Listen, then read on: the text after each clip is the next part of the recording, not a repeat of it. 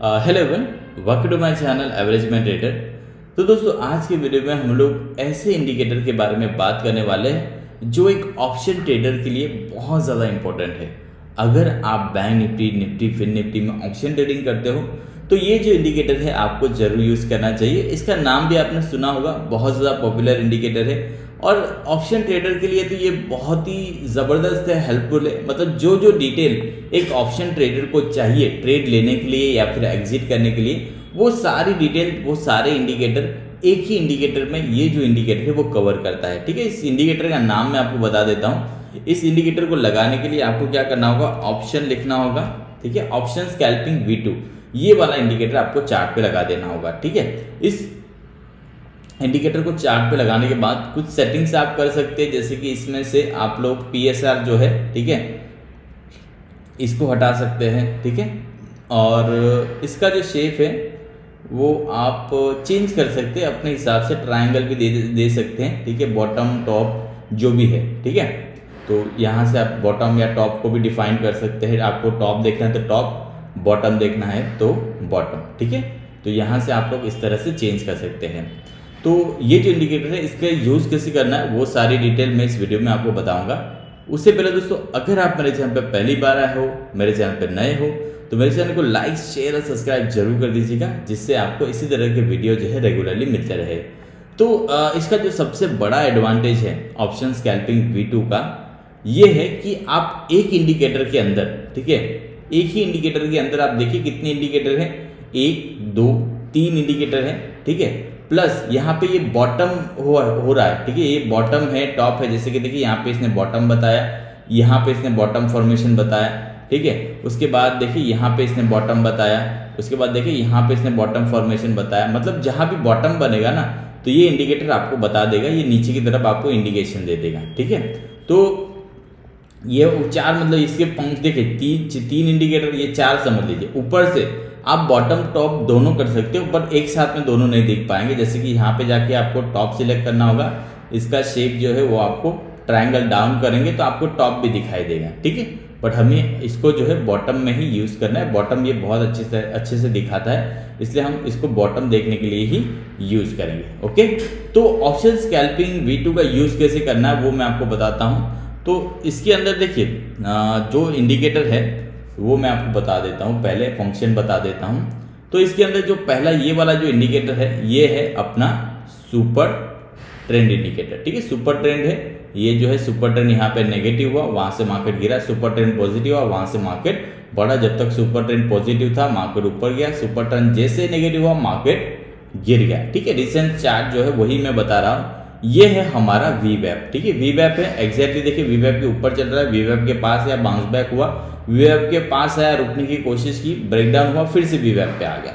ठीक है तो वीवेब आपको पता ही वीवेब का कितना इंपॉर्टेंट रोल है ट्रेडिंग के अंदर। वीवेब एक सपोर्ट रजिस्टेंस की तरह काम करता है तो हमेशा अपने चार्ट पे वीवेब तो ज़रूर लगा के रखिए, ये आपको बहुत ज़्यादा बेनिफिशियल करेगा। अब वो तीसरा जो इंडिकेटर है, वो है ये हमारा जो है W V W M A है। ठीक है वी डब्ल्यू एम ए है। तो वो ज़्यादा इतना इंपॉर्टेंट नहीं है, इसको आप बंद भी रख सकते हैं बट ट्रेड लेने के लिए कंफर्मेशन के लिए, जैसे कि दोनों के सुपर ट्रेंड वी वैप और वी डब्ल्यू एम ए के ऊपर है तो आपको ट्रेड लेने में एक्स्ट्रा कंफर्मेशन मिलेगी। अप साइड के लिए ऊपर होना चाहिए डाउन साइड के लिए नीचे होना चाहिए, तब एक अच्छे से आप ले सकते हैं ट्रेड जैसे कि देखिए, यहाँ पे वी वैप के ऊपर है वी डब्ल्यू एम ए के भी ऊपर है सुपर ट्रेंड के ऊपर है तो ये पॉजिटिव है। ठीक है? उसी तरह से आप यहाँ पे भी देख सकते हो, ठीक है? जब भी मार्केट जो है V W M A super trend के नीचे जाता है मार्केट नेगेटिव हो जाता है ओके तो इसका यूज़ कैसे करना है, वो मैं बताऊँगा। अब इसके अंदर जो बहुत ही ज़बरदस्त फीचर है, वो है ये टेबल ठीक है? ये जो टेबल है, ये डैशबोर्ड है, इसके अंदर आपको बैंक निफ्टी का जो प्राइस है, वो क्या चल रहा है? आज कितना पॉइंट बढ़ा है? कितना परसेंटेज का चेंज है? पंद्रह मिनट में पॉजिटिव है नेगेटिव है, एक घंटे में पॉजिटिव है नेगेटिव है। ठीक है? ये सारी डिटेल बैंक निफ्टी के लिए भी मिलेगी, निफ्टी के लिए फिन निफ्टी के लिए। ग्लोबल मार्केट में डाउ जो डाउ का जो फ्यूचर है, वो पॉजिटिव है नेगेटिव है। विक्स क्या है? और देखिए बैंक निफ्टी और निफ्टी में ट्रेड करते समय हमें H D F C I C I C I Kotak Axis ये सारे जो है, ये सारे जो स्टॉक है, इस पर भी नज़र रखनी होती है। राइट तो ये सारी डिटेल आपको मिल जाती है। अब इसके बीच में हम ट्रेड कंफर्मेशन कैसे लेंगे, वो मैं आपको बता देता हूँ। आपको देखिए रिप्ले करके मैं बता देता हूँ यहाँ पे, ठीक है? तो देखिए, हम लोग कन्फर्मेशन कैसे लेते हैं? जब भी ट्रेड लेना हो, तब कैसे कन्फर्मेशन लेना है? अब देखिए, आगे बढ़ते हैं, ठीक है? अभी मार्केट क्या है? सुपर ट्रेंड के ऊपर है और वी डब्ल्यू एम ए की भी ऊपर है, ठीक है? तो जैसे ही देखिए वी डब्ल्यू एम ए के नीचे क्लोज किया तो हम यहाँ पे ध्यान देने लगेंगे कि कौन सा बैंक नेगेटिव हो रहा है। बैंकिंग में कोई सेलिंग वगैरह है या नहीं? निफ्टी में सेलिंग फिर निफ्टी में कोई सेलिंग है क्या नहीं? सब कुछ हमें देखना होता है तो हम लोग आगे बढ़ते हैं, ठीक है?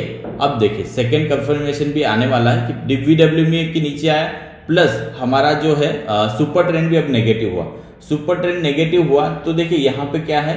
H D F C bank ICICI bank को और एक्सिस ये सारे जो है पंद्रह मिनट में नेगेटिव हो चुके हैं, ठीक है? पंद्रह मिनट में अब ये नेगेटिव प्राइजेक्शन पे आ चुके हैं, ठीक है? तो ये देखना है कि देखिए, जैसे ये ब्रेकडाउन हुआ है, पंद्रह मिनट में नेगेटिव हो चुका है, ठीक है? तो ये सारे बैंक में सेलिंग आ चुकी है, ठीक है? सेलिंग आ रही है मतलब हम सेल साइड के लिए जा सकते हैं तो हम ट्रेड ले लेंगे सेल साइड का। देखिए रिट्रेसमेंट के बाद देखिए, अचानक से मार्केट में देखिए, सारा जो है रेड हो गया मतलब एक अच्छी खासी सेलिंग आ गई।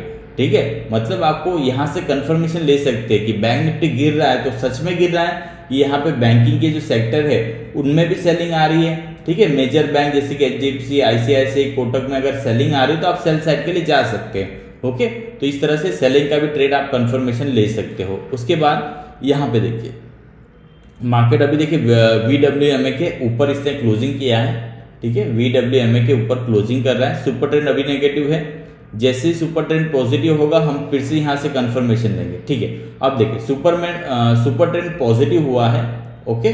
और यहाँ पे देखिए, पंद्रह मिनट में सारे जो स्टॉक है विक्स जो है, वो सारे जो है पंद्रह मिनट में हम पॉजिटिव हो चुके हैं, ठीक है? निफ्टी, बैंक निफ्टी सारे पॉजिटिव है, ओके? तो ये हमें बताता है कि अब देखिए, सारे स्टॉक में थोड़ी थोड़ी बाइंग शुरू हो चुकी है बाइंग हो रही है। तो बाइंग हो रही है तो हम रिट्रेसमेंट पे इसको ले सकते हैं, ठीक है? ये देखिए, उसके बाद मार्केट कितना अच्छे से ऊपर की तरफ़ निकला है ओके फिर से इसको जाने देंगे ऊपर की तरफ़ ओके अब सुपर ट्रेंड नेगेटिव होगा, तब कुछ सोचेंगे।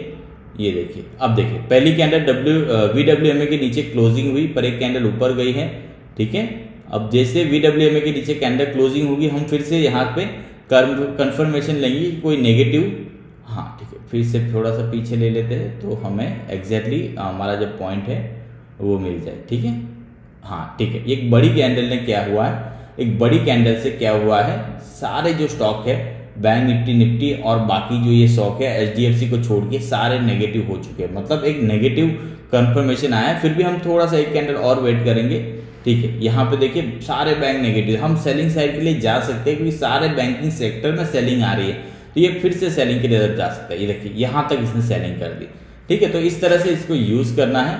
और आप इसको बैक टेस्ट भी कर सकते हैं अपने हिसाब से। बट जनरली देखिए, आपको क्या है, जब भी ट्रेड लेते हैं, तब आपको चाहिए कि बैंक निफ्टी के जो कंपोनेंट है, निफ्टी के जो कंपोनेंट है वो क्या करे? जैसे कि HDFC बैंक पंद्रह मिनट में पॉजिटिव है नेगेटिव है आईसीआईसी बैंक एक्सिस बैंक ठीक है?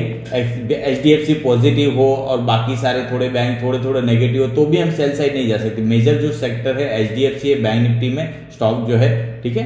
तो इस तरह से हम जो है ऑप्शन स्कैल्पिंग वी टू को यूज़ करना है। यहाँ पे भी देखिए, इस जगह पे और ट्रेंड पॉजिटिव हुआ। उसके बाद वी डब्ल्यू एम ए के ऊपर कैंडल गई और उसके ऊपर देखिए कितना अच्छा मोमेंटम मिला। ठीक है? उसी तरह से यहाँ पे भी देखिए मार्केट क्या है? सुपर ट्रेंड के नीचे है वी के नीचे है तो मार्केट में क्या आ सकती है? सेलिंग ये आनी है, क्योंकि नेगेटिव प्राइजेशन जैसे ही वी में और जो सुपर ट्रेंड है, इसके ऊपर निकला तो देखिए, ये मोमेंटम मिलता है ओके यहाँ पे भी देखिए सुपर ट्रेंड क्या हुआ है? नेगेटिव हुआ वी के नीचे कैंडल क्लोज हुई और मार्केट गिर गया, ठीक है? साइडवेज में थोड़ी सी प्रॉब्लम हो सकती है, बाकी ये बहुत अच्छे से काम करता है। ओके ये देखिए, यहाँ पे क्या हुआ? मार्केट में प्राइजेशन नेगेटिव था सुपर ट्रेंड यहाँ पे पॉजिटिव हुआ तो मार्केट ने एक बड़ी कैंडल बनाई। फिर फिर से एक नीचे आई, पर सुपर ट्रेंड का सपोर्ट लिया। उसके बाद मार्केट देखिए वी डब्ल्यू एम ए और हमारा जो वी बैप है, उसके ऊपर ही सस्टेन किया और उसके बाद ये मोमेंटम दिया ठीक है?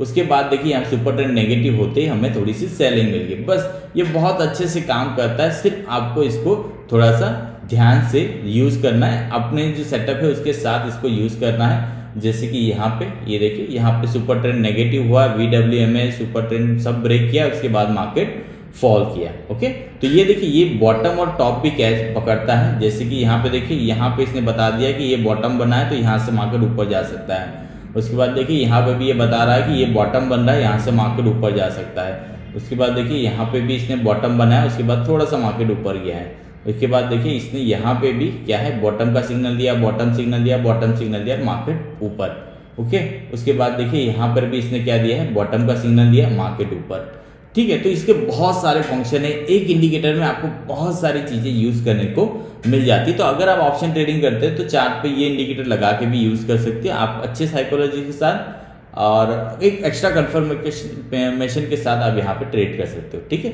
तो इसके बारे में आपको कोई भी डाउट हो क्वेश्चन मुझे ज़रूर कमेंट करिए, मैं उसका आंसर ज़रूर करूँगा।